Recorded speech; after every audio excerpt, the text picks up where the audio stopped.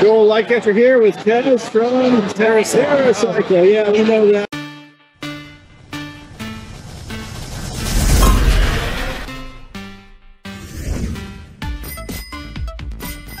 Cycle. Yeah, we know that. We're real popular with them. We got the whole booth here. Here's the widget spinner that you can't buy. It's not for sale, but it is very cool. And we got all the stuff you're probably familiar with.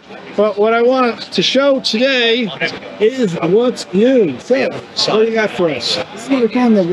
It's the uh, linked articulating accessory and mirror mount. It, it uses machine parts that we have made that attach a Mirrycle mirror and then different ways of attaching to your trike to these modular hose parts that come in all shapes, all different shapes and sizes. You can buy all a cart and you kind of grow the tree of your dreams to find the mirror wherever you'd like to put it. Why does the mirror look a lot like a Mirrycle? It is a Mirrycle mirror, actually. it Really, show us the backside. Prove it.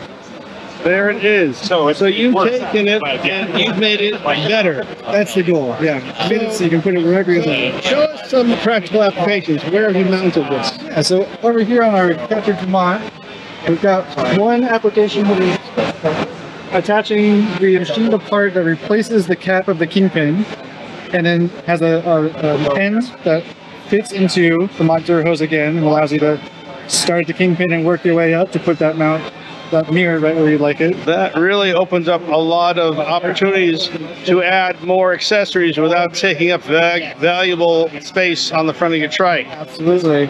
Another version we have, Now, let me uh, come around here. This version, version uses a wedge lock that fits into the end of a 7 8 inch tube, which the, the standard Catrike mirror mount happens to be. And so you can put the machine part that we've made into the 7 8 inch tube, and then again, grow outward, the full mirror right where you'd like to take it. That is very cool. I can see a lot of applications. I can see that even putting this on my trike to give me some more flexibility. Absolutely. Okay, thank you very much. Appreciate it. So,